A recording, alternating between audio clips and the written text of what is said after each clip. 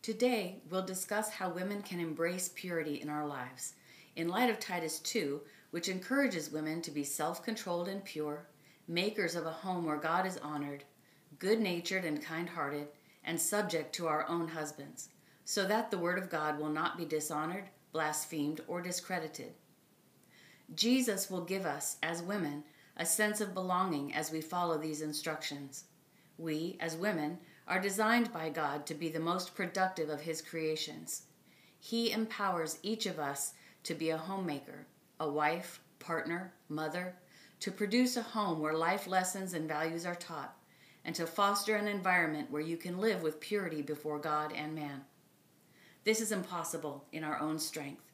We must rely on Jesus and crucify our flesh in the face of temptation. This is the only way to be the woman that God calls us to be.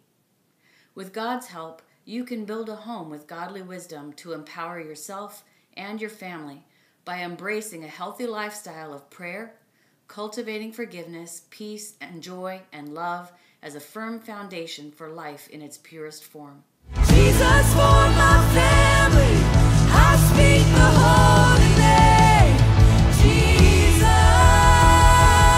Jesus. To pursue purity is to pursue love, and it is worth the work. In Matthew 5, Jesus said, Blessed are the pure in heart, for they shall see God. Remember that God always knows what is best for us. He will always want the best from us. That's why it really matters that we choose to pursue purity as women. If we learn from the book of Titus, our intentions will be driven by grace to reflect godly wisdom in our thoughts and actions as we guard our hearts and mind from the mindset of this current culture. It all starts in our heart and mind. In Proverbs 4, God says, Above all else, guard your heart. Prayerfully ask God to show you how you can take the next step in building a home where God is honored in purity.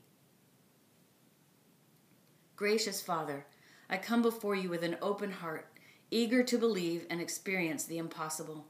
Banish every trace of doubt within me and fortify my faith to stand firm against life's challenges. Help me guard my heart against every trace of jealousy, gossip, greed, and impurity. Let my trust in Jesus not be based on circumstances, but on your steadfast love and unmatched power. I want to live in the fullness of belief, confident that with you, Lord, everything is truly possible. In the mighty name of Jesus, I pray. Amen.